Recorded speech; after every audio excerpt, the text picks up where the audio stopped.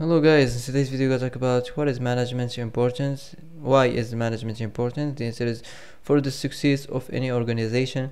So that's for today, I hope this is the answer you've been looking for. If you like this video don't forget to like and subscribe and see you in the next video.